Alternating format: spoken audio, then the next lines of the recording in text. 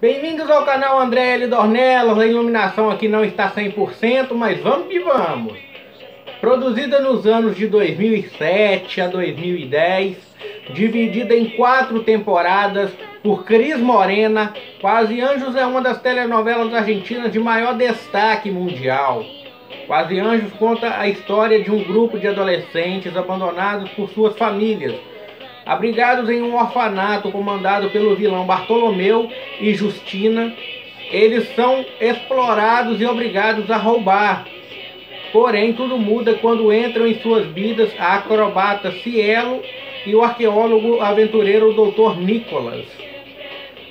Cielo formará a banda Teen Angels com os adolescentes Jasmine, Mar, Rama, Tato e Tiago. Já Nico envolverá todos, todo o grupo em sua investigação arqueológica, que para comprovar a existência da Ilha das Crianças Felizes, chamada de Eudamon. Nico e Cielo também terão suas vidas mudadas ao se apaixonarem. Romance, comédia, amores, confusões, rebeldia, mistério e aventuras são os ingredientes de quase anjos. É, tem de tudo um pouco nessa novela. E o reloginho, vocês lembram do reloginho? Não há tempo. E é nisso, é nesse não há tempo que eu venho pedir que você da TV Cultura, você que trabalha no marketing da TV Cultura, você que trabalha na programação da TV Cultura, por favor, TV Cultura, eu imploro, como fã da novela Quase Anjos, compra os direitos dessa novela, porque nós que somos fãs de Quase Anjos, nós não vamos decepcionar na audiência.